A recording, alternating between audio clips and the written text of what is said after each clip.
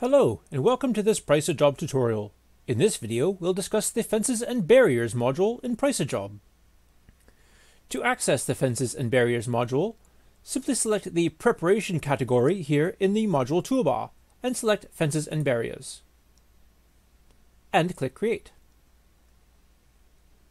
The fences and barriers you require will really depend on the site and specs. This module makes it easy for you to calculate costs for Heras fence, hoarding fence, barriers, and cones. Heras fence refers to the galvanized mesh temporary fencing. Let's start with that. Here we can input the length, let's say 35 meters, and then specify how many pedestrian gates we would like to have, as well as how many vehicle gates. And we can set the number of weeks that the fence will be required for. Depending on our supplier, the delivery and collection costs may be charged separately, and we can input that amount here. And Price-A-Job automatically calculates the plant and tool for the fence gates and collection costs, as well as the labor for installation of the fence. Next, let's add barriers. Here we can set the quantity of barriers required, and the number of weeks that they will be required for. And again, depending on the supplier, we can set the delivery and collection charge here. And this is added to our price estimate. Cones are very similar to barriers. We simply input the quantity, the duration in weeks, and the delivery and collection charge and this is added to the estimate total. Hoarding fence is a wooden board fence, and preferable when more privacy is required than that afforded by a Heras fence.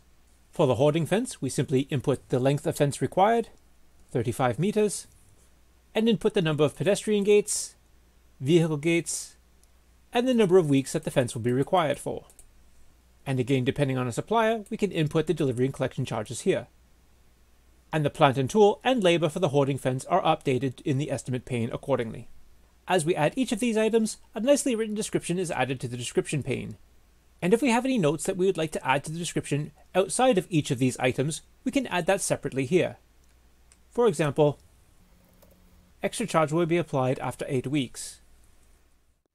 When we add this note to our description, it exists independent of any of these items, so if we deselect these and remove them, all of the descriptions for each of these items will be removed from the description, except for the note that we input manually, which will remain. We can add all these back in, and see our quote under the Reports tab that these items are all nicely described and displayed in a detailed table, and we have the option of showing price, or not, or just showing a simple quote with only the grand total. And that's how the Fences and Barriers module works. Thank you for using Price-A-Job.